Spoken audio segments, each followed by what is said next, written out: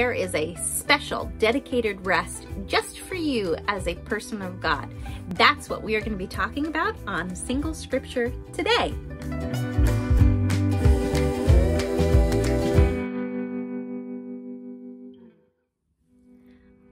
Hi friends, welcome to this morning's, I gotta do a big stretch. Welcome to this morning's episode of Single Scripture Today.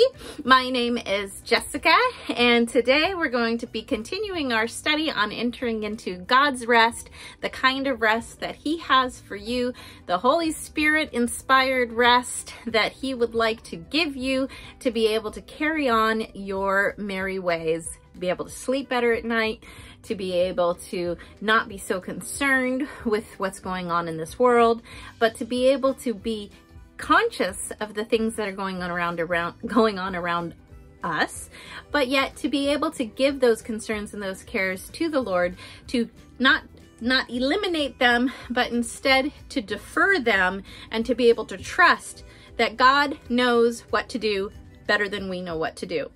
So for today's scripture, we're going to talk about, ah, it's, sing, this, the, the series is called Single Scripture Today, but we're going to do a single scripture and a half. So it's actually a pretty short scripture, but I'm going to add to it verse 10, which is going to make it about the size of one whole scripture. So Hebrews 4, 9, and 10. And here it is.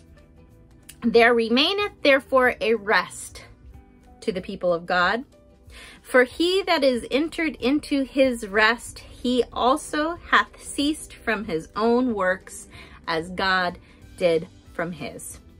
I'm going to break it apart. We're going to go through verse 9 first. That is a promise directed at you. There remaineth therefore a rest to the people of God. Did you know that? Did you know that there is a rest for you? That that rest, that that that that feeling that you felt. Remember summer days, lazy summer days. Maybe you took a really, really good nap and there's that split second that you first wake up and everything feels good. The wind feels good.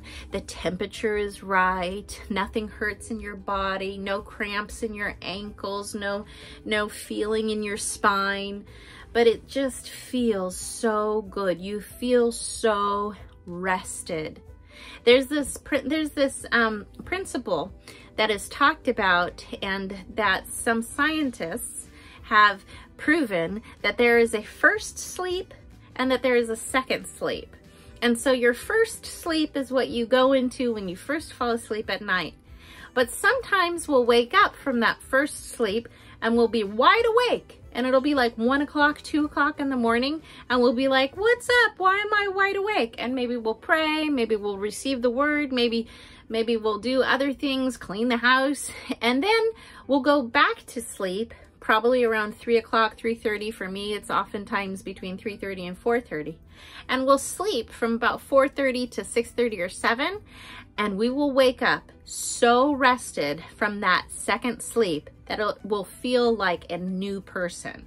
I don't know what it is. Um, I think that before we had the invention of electricity, a lot of times um, people would, you know, light, you know, they would go to bed early because the lights had gone out and only so much a candle can do. So they'd be getting to bed really early and then they'd wake up and then be super productive at night. I've read articles about people going on visits at night at like one o'clock, two o'clock in the morning to their neighbors' houses and eating and having coffee and tea and then going back home to go to sleep to that second sleep sleep and then sleeping so well during that second sleep of condensed sleep maybe maybe our bodies maybe our psyche knows that that that you know the second sleep is shorter than the first sleep and so you better just pack it in but there's a second sleep of rest there's that wonderful feeling that we feel when we wake up recharged and we wake up and we feel like we're a new person. There remains therefore a rest for the people of God.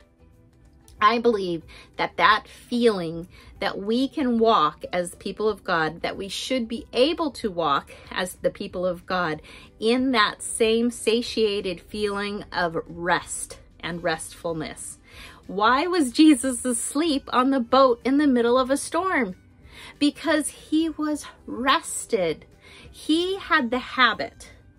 Where's Jesus? Oh, he's off praying. Where's Jesus? Oh, he's giving alms to the poor. Where's Jesus? Oh, he's out being tempted by the devil for 40 days, communing with God, talking with God. Jesus had a habit of continuing to kind of disappear and go be with the Father in prayer and meditation. Be and this ability to be able to be in the Father, be with the Father in prayer and prayer, prayer and meditation, and constantly conversing with God and constantly talking with God and constantly giving over his anxieties. I, I'm, Jesus was human like the rest of us. It says that he was tempted like us. It says that he carried all of the same emotions that we have. What he successfully did that no other man in history has ever done is he continued to enter into the rest of God and to be able to be found in that peaceful, rested state whenever he was with whenever he was with his followers whenever he was with his disciples. When you hear about him going to mary's house and resting and and when you even hear about john writing that he had his you know john laid his head on jesus's breast that that john was right there the the disciple whom Christ loved is it's it's like we're almost imagining that John is so close to God and he's so emulating Jesus and what Jesus is being and how Jesus is that John's able to rest and to the point to where they're in the Garden of Gethsemane and Jesus has this moment of of the of total humanity. First, we know Jesus wept. It's the shortest scripture in the Bible. Look it up.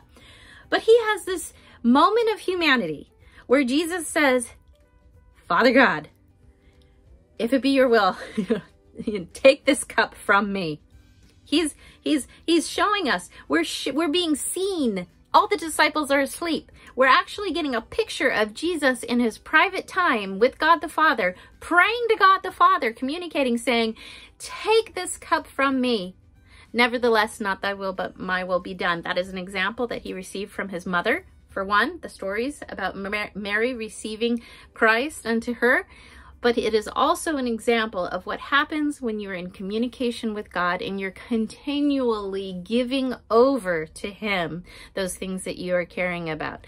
Jesus was laboring to enter into the rest of God so much in the Garden of Gethsemane that he began sweating blood. That is the amount, that is the intensity that he was in his prayer time with God the Father while all the disciples are sleeping. He is praying and he is confessing his anxiety so much and he is under so much physical duress that he is sweating blood from his pores because he is laboring to enter into the rest of God so that he can walk the work, he can walk into being persecuted, being flogged, being crucified, being tormented, being laughed at, being mocked, being scourged, having a crown of thorns over his head. He is laboring so hard to enter into the rest of God. He is communicating so deeply with the Heavenly Father that blood is pouring out of his pores as he enters into that level of rest for what he knew he was required to do.